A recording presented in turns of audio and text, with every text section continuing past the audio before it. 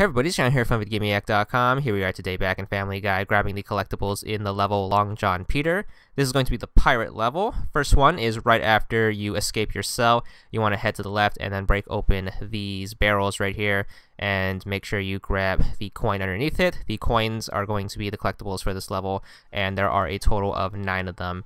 Most of the coins are going to be underneath barrels which you have to break in order for them to appear.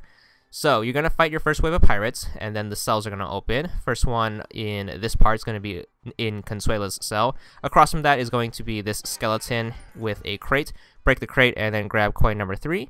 You're going to head to this part of the ship with Seamus. This is the treasure chest area where you need to pick up your guns again.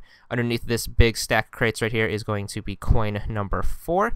You do have to wait a while for the debris to clear, so just be a little patient. It takes usually about 5 to 10 seconds. So you're going to get to this area of the ship where the stuff's going to be on fire. You're going to fight more waves of pirates. Once the cell's open, just head into the Evil Monkey's room and then grab coin number 5. Coin number 6 is also in this part. It's going to be an Adam West cell right here. So just look in there and then grab it. It's going to be underneath the stack of hay. So then you're going to make your way onto the deck of the ship. You want to look underneath this staircase, break open the crate that's under here, and then grab coin number 7. Then make your way to the far side of the ship, and you have more crates next to this staircase.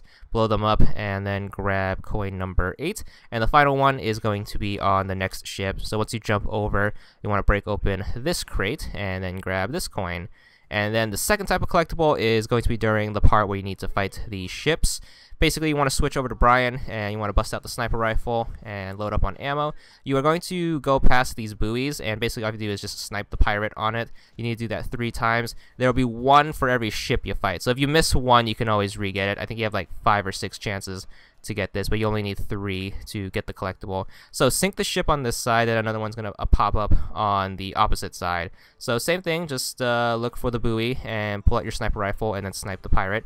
It usually takes a little bit of time to appear, but make sure you get it before you destroy the ship on this side. And same thing for the third one. Once you get all of those, just beat the level, and you should get your achievement. 20 gamer score, and that's all there is to it.